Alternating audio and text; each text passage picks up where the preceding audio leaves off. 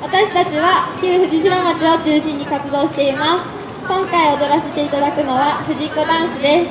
この曲は取手市と藤代町が合併するときに藤代の名を残そうと地域の人たちと一緒に作り上げた曲ですこの曲を地元の人たちにまで私たちの笑顔と元気が届けられるよう精一杯踊らせていただきます。どうぞご覧ください。